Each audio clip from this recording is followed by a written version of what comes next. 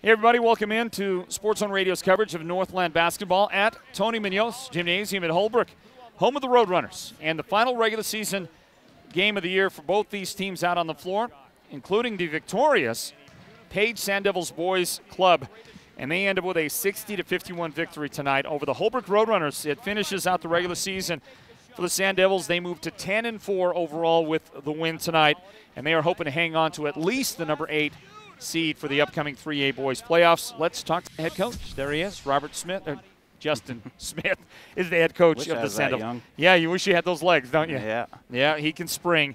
Um, uh, Justin Smith, the head coach, joins us now. Coach, welcome in and congratulations. Nice win for you and the guys. Thank you. Well, Coach, um, let's see. Holbrook hung around. Uh, The Roadrunners came out spirited. They were playing without Anthony uh, Nelson, arguably their best player, Yeah. and, and it seemed like they had something then to play for. They're not going to the playoffs, so they were kind of in a spoiler position tonight, and they, they gave you all they had to give. Yeah, they did. They did. We didn't.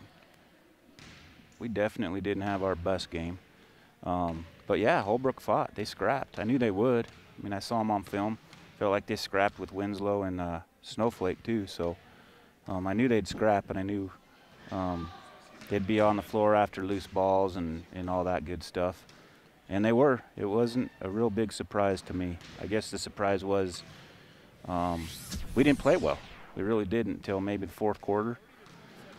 Well, once you got the advantage, then you guys, you know, you were in control from that point on. You developed some sizable leads. I think 14 points at, at one stage, and then uh, in the uh, in the kind of uh, garbage uh, moments at the end, Holbrook was able to make a bit of a comeback and get it down to nine points. But you know, your team, you're getting ready for the playoffs, and this is kind of that tune-up game right here. A chance to be on the road, going and, and play something, and and, uh, and and you know, play a team that could test you on your side, a couple of performances certainly do stand out, and I want to talk about Sports Zone Radio's player of the game first. We go with Orlando Yazzie on that. 14 points didn't lead you. That was Stuart Smith, uh, Stuart Sandal, the uh, Mut- Mutton Stew. We find out for a nickname for him tonight. Yeah. Mutton Stew had 24 points. That was you know great performance. But back on Orlando, Coach, I'm going to say it was in a in a in an abbreviated, shortened season uh, for sure. We haven't covered as many games as we normally do, not nearly as many. But that young man right there played the best defensive game I've seen anybody put up this season in games we've covered. Um, I don't know what your thoughts are, but I thought defensively he was incredible today for your Definitely, team. definitely. You know, it's funny because uh, I can't remember what game it was.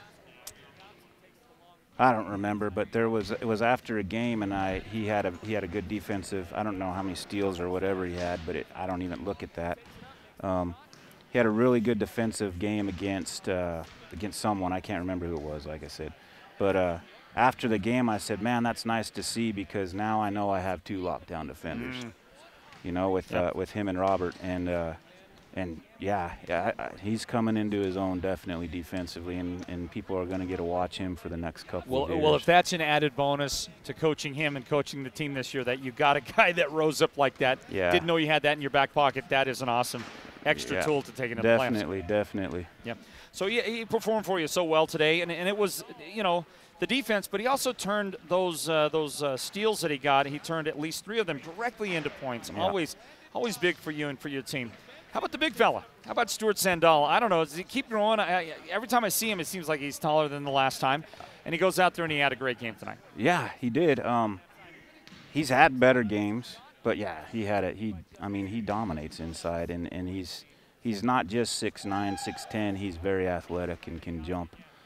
Um, and for him, it's not necessarily about the points. He's going to get those. He's six. I mean, he's a big kid, and we do a good job of getting him the ball, but he rebounds. He's been rebounding really, really well this year. How many guys at his size, at his height, how many kids out there in Arizona have the kind of touch that he's got? When he's six, eight feet from the basket, guy that big is not supposed to be able to kiss that thing in there so nicely like he does. And at the free throw line, he shoots so well for you. That guy's got amazing touch for a big fella. Yeah, he can shoot the three too. You know, he's only shot one or two this year. I think he made them both. But uh, yeah, he's got. I mean, he he does. He's he's he may be one of our best shooters. He's definitely No in the top four Yeah. or five. Well, I mean, there's undoubtedly, I mean, just the height alone is going to give him such an advantage to go play at the next level, and I hope that's in his plans.